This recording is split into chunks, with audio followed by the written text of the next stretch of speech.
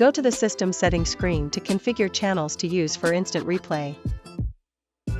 To use the instant replay function, assign a recording channel to each input stream for internal recording. You can also use this setting when you want to enable ISO recording function.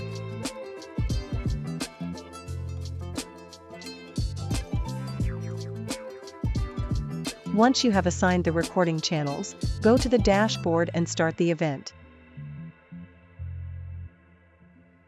When the status of the event changes to running, go to the live operation screen.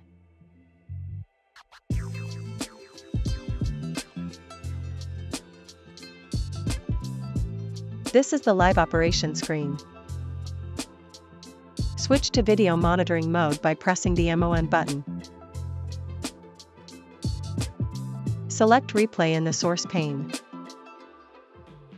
Select Replay tab.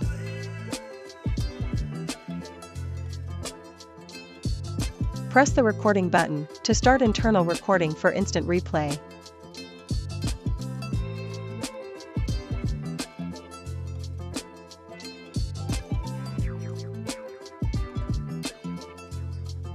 Select the channel you want to check for instant replay.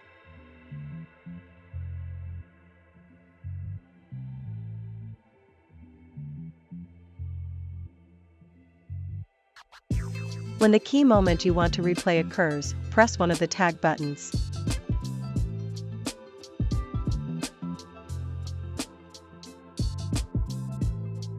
In this case, it is cued up to the endpoint, which is 10 seconds before the moment. You can adjust the endpoint pressing these buttons. Cue up to the endpoint.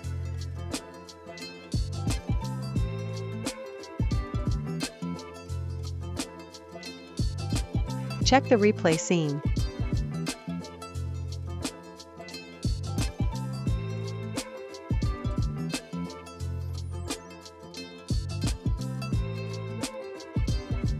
Once the switcher operator prepares for the replay, you will see a green sign here.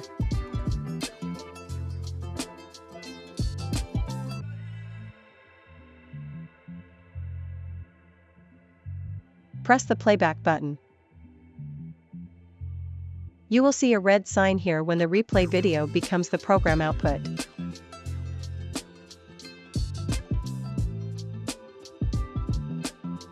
For slow replay, select the playback speed as required.